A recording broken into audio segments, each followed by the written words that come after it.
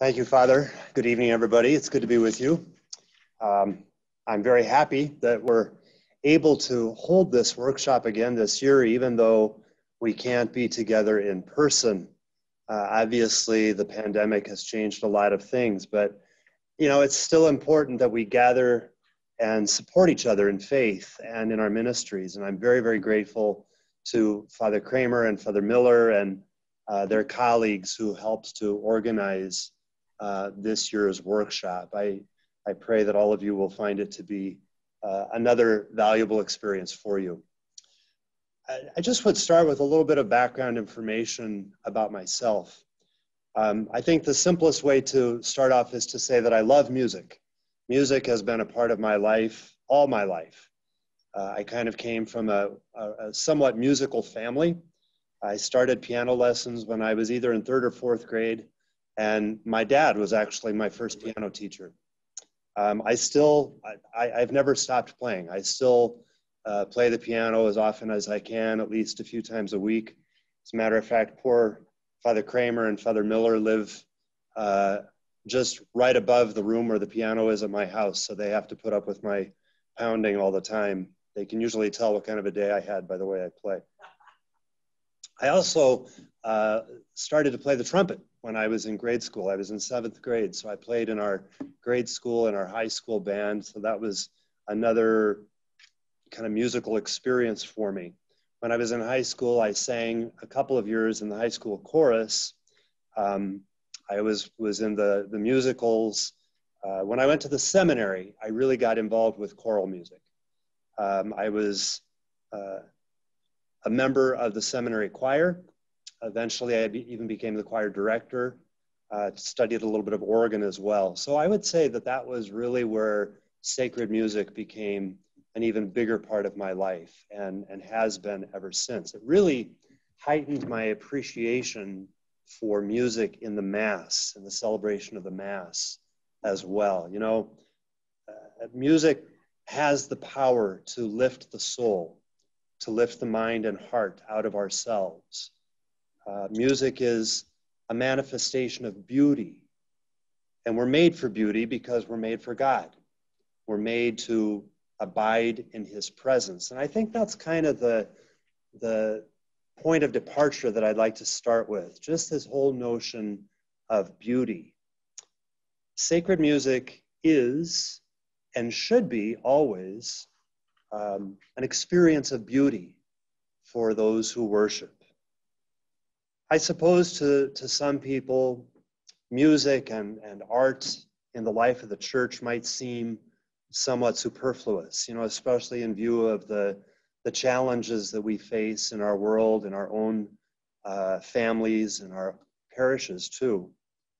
You know, people are experiencing illness, people are struggling to get by, threats of war and terror around the world and attacks on human life. And it would be easy to say that all this is, is just trivial.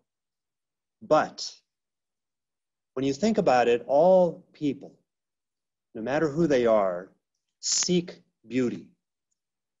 And we're all drawn to beauty. It's a universal. And it's really essential to human experience. As long as we understand that notion of beauty correctly. One of my favorite theologians is a, a Swiss theologian by the name of Hans Urs von Balthasar. And he did a lot of theological work in this whole area of beauty. His greatest work was called The Glory of the Lord. It's a theology of beauty in, in uh, Catholic theology. And he has a statement that I think we could all meditate on. He says, every experience of beauty points to infinity. Every experience of beauty points to infinity. Maybe we could even say points to God. Every experience of beauty points to God. And then there's another quote that I would like to share with you, and this is from a, a Russian author. Some of you might have read Dostoevsky. And he says this when truth and goodness are banished from society, beauty will save the world. That's a pretty strong statement. Seems nowadays, though, that it's kind of coming true, at least partially, because in so many ways in our society and our culture, truth and goodness are being banished. You know, there's like a, an intolerance for claims of truth or, uh, or of anything that is objectively good. But that leaves beauty still there, which can still attract even the most hardened of hearts.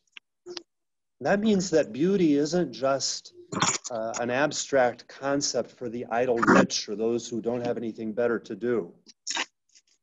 Beauty really has an impact on all of us. And I would say the lack of beauty also has an impact on us.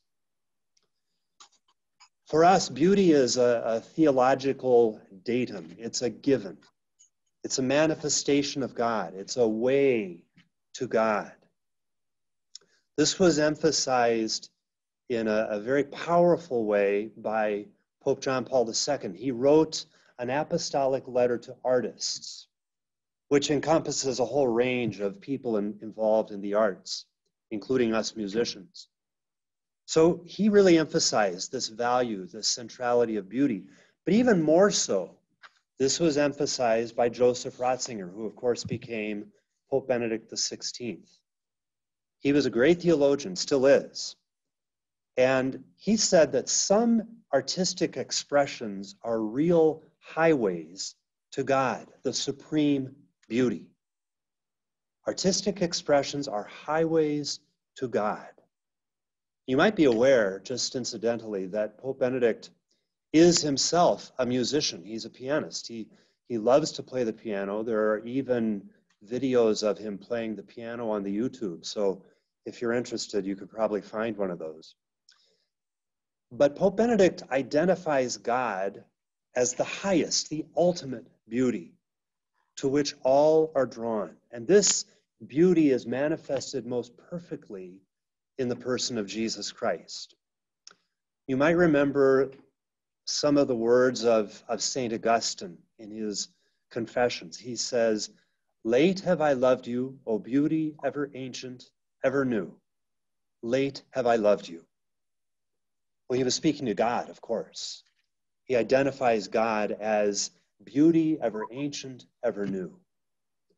And then he goes on, he says, You have made us for yourself, O Lord, and our hearts are restless until they rest in you.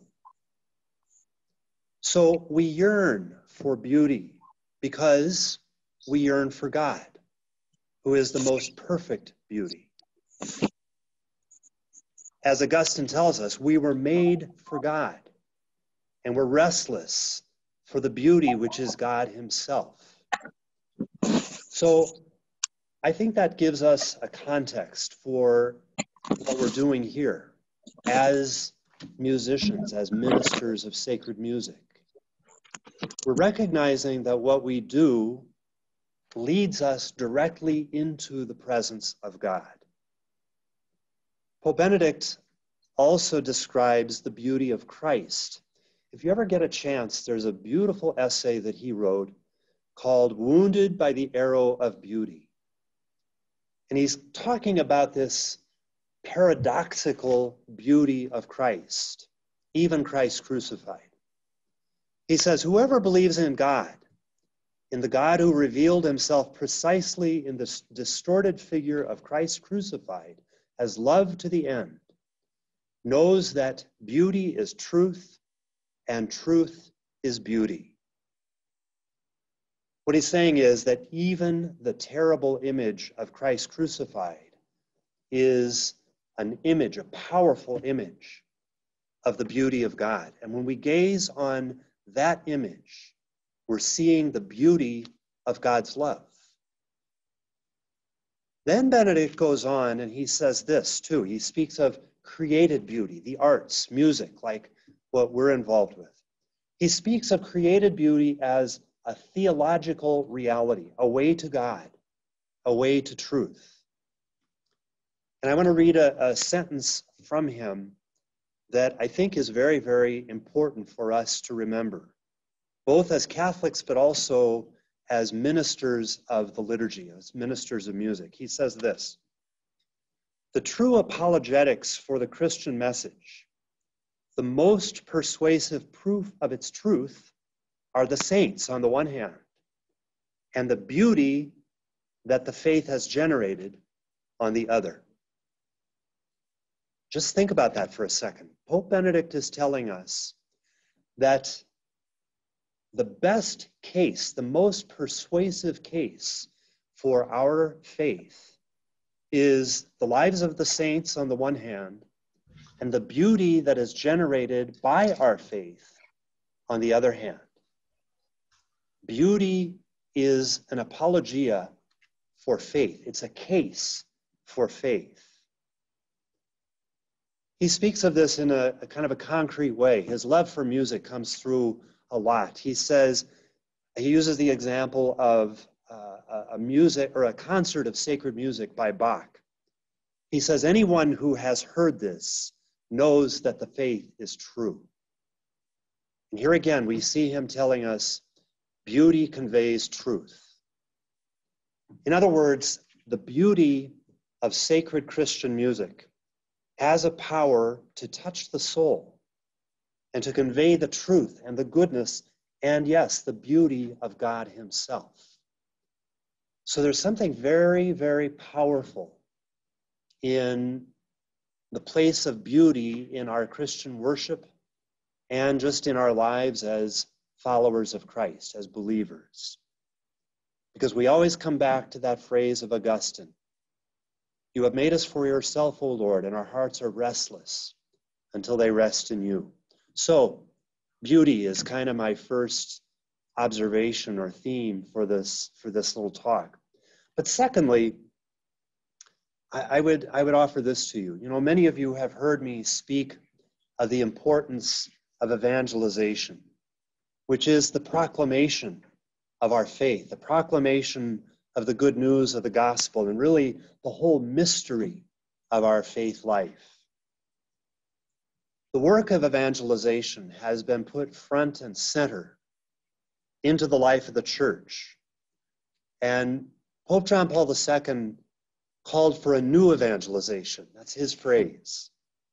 A renewed proclamation and living out of our faith, of the gospel, in places where the the, the faith has already been proclaimed, but where perhaps it's grown tired or has faded away.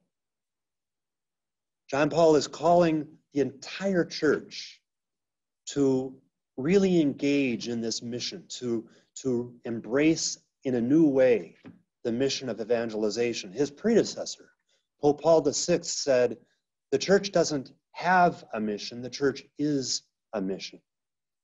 And now, in our own time, Pope Francis has taken the ball and run with it, you might say. One of his very first teaching documents was called The Joy of the Gospel. And he's really urging, not just urging, but, but calling upon all of us as Catholics to embrace the mission of evangelization. Uh, friends, I, I think you probably know what I'm getting at our ministry of sacred music is right at the heart of that work of evangelization. As a matter of fact, I think sacred music has an absolutely central role in the work of evangelization because it has such an important place in the liturgy, which is the public worship of the church. Sacred music has an amazing way of communicating the presence of God his beauty, God's beauty, and his good news. As a young priest, when I was in my very first assignment uh, back in the Diocese of Lincoln, I was visited by a lady one day in my office, and she just had, had called and asked to see a priest, and I didn't know her, but she came and visited, and we talked for a little while. She wanted to become a Catholic. And I asked her, I said, Well, what has drawn you to the church? Why are you interested in the Catholic faith? And she said that she was a teacher and she used to take groups of students on trips to Europe. And she said on one of these trips, they were in Paris and they visited the Cathedral of Notre Dame, which, as we know, tragically experienced a, a terrible fire a year ago. But she visited the Cathedral of Notre Dame with her students. She said, I had been there before, but when I came into the cathedral, Mass was being celebrated. And there was a beautiful children's choir that was singing for the Mass. And she said, I knew immediately when I heard the music, when I observed the reverence of the prayers, when I looked around at the beauty of the cathedral, that I wanted to be part of this. She said, I just immediately felt in a way I had never felt before, I have to be part of this. And she especially talked about how the, the children's choir caught her ear and really kind of drew her in. She felt drawn to approach closer uh, to the altar and to really take part in what was going on there. And she did. She eventually joined the church. She was received into the church the next year at the Easter Vigil. It really was a beautiful testimony, I think, to the truth of what Pope Benedict says that the art, the beauty that is generated by our faith is a great apologetic for the faith and has this power of drawing others into the experience of faith that we've received. Sacred music also has a power to really convey the message of the gospel, to make it known. And I just want to use a, a couple of examples that I think will probably ring true with you.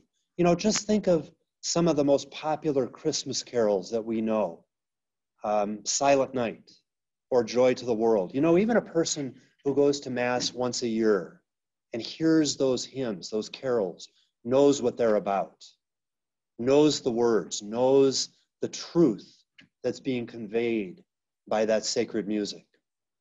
In a similar way, if you go to Mass on Easter Sunday and you hear the hymn, Jesus Christ is risen today, you know, this exuberant, joyful hymn of, of praise for the resurrection, you know what the truth is behind it.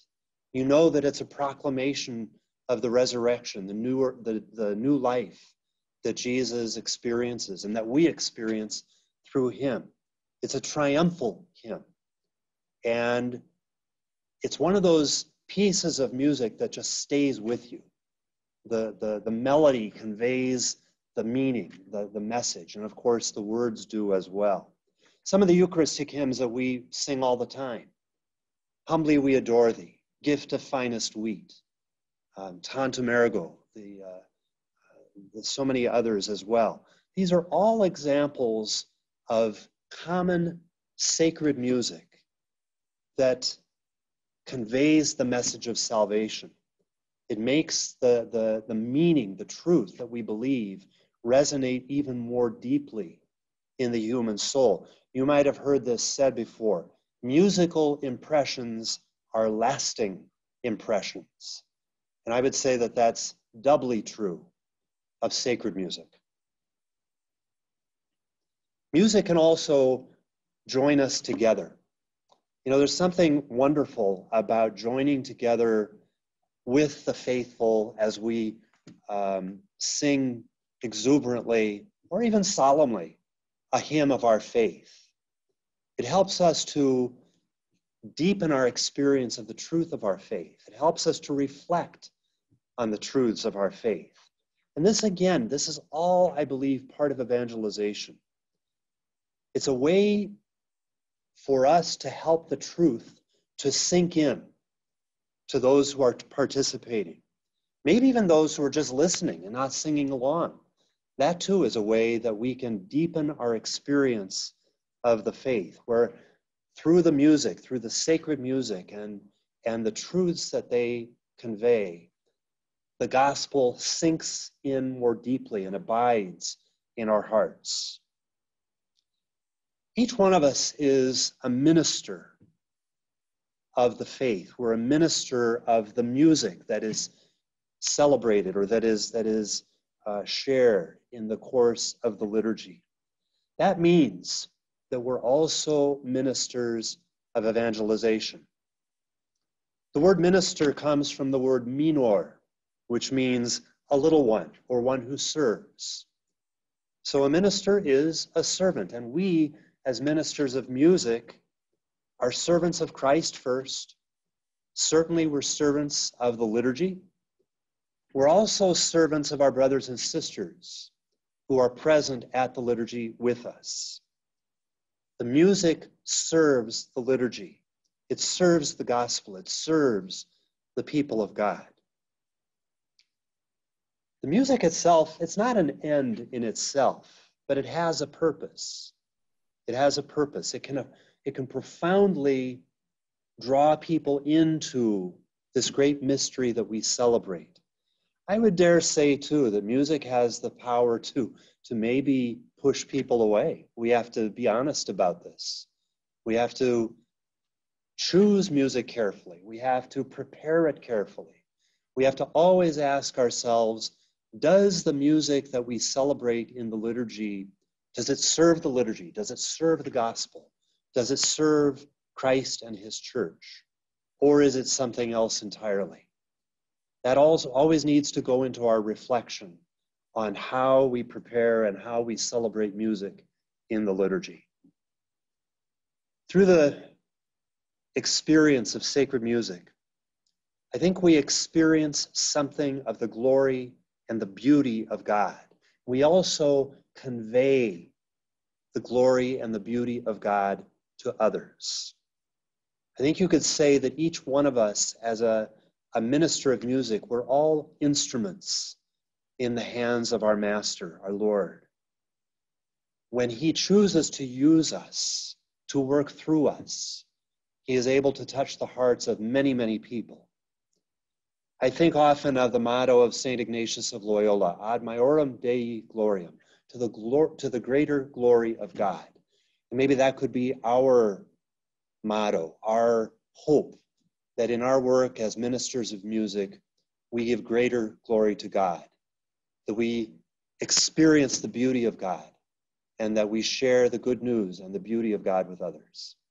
I'm so glad to be with you this evening. I'm so glad that you've tuned in, that you've signed on for this workshop, and I hope that it really is an experience of grace for all of us. God bless you. Thank you.